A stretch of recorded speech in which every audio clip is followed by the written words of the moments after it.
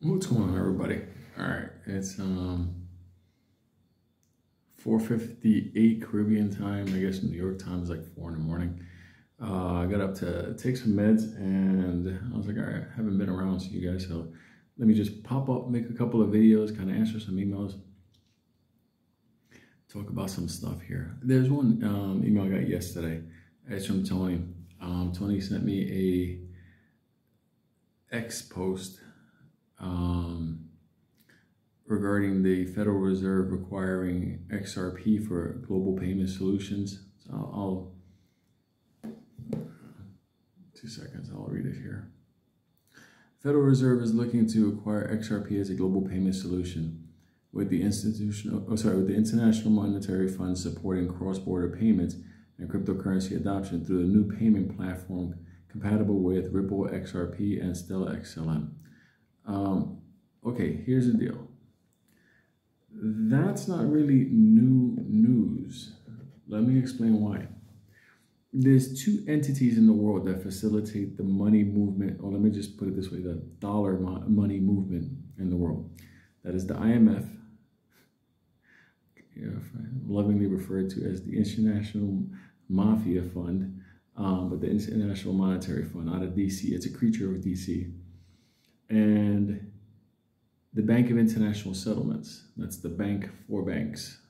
So those two entities have already selected Ripple um, as their cross-border payment platform. Now the IMF has identified Ripple and XRP, sorry, Ripple XRP and Stellar Lumens XLM as the stablecoins to facilitate their cross-border payments. So, you say, but what does the Federal Reserve have to do with that? Simple. The Federal Reserve only has power and authority inside the United States. When it has to move money anywhere in the world, it has to go through two entities, IMF, which is then tied to BIS. So it's not like they have much choice in it. It's like um, mm, it's like if you have a Toyota. Perfect example. Let's say you bought your Toyota in Ohio, and then you decide to move to Baja, Mexico. You still have a warranty in it, but you have a warranty with Toyota North America. You understand? Not Toyota in Latin America.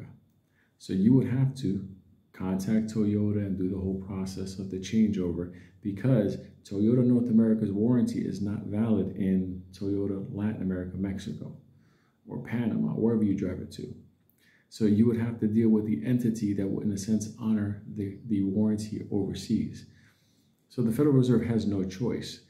If the Federal Reserve needs to do any type of money movement with, let's just say, I don't know, United Emirates or, you know, you know, Singapore, any of those kind of places, it's going to have to conform to the money delivery system on that side. And since the world is in a process of like de-dollarization, XRP and XLM are a choice um, to go to. And that's going to be a big thing in the future. I don't think a lot of people understand that because let's say, for example, you know, like America's picking up oil production now. Like we're, we're pumping oil, not at the scale we should be at all but they're saying that we're, we're doing it such high levels. Yeah, you go from zero to, to 5%, that's high.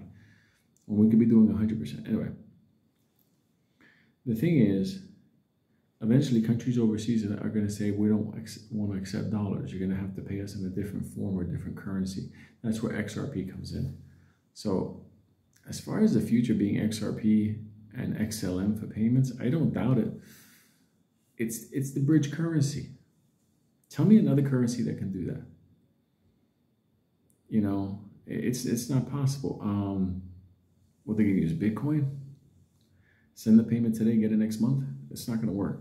There's nothing else right now that could be used as a bridge currency in that capacity, that speed, that cost effect, and it's already an accepted, an accepted standard. Yeah. So yeah, XRP, Federal Reserve, and all the entities, we already got that covered. More to come.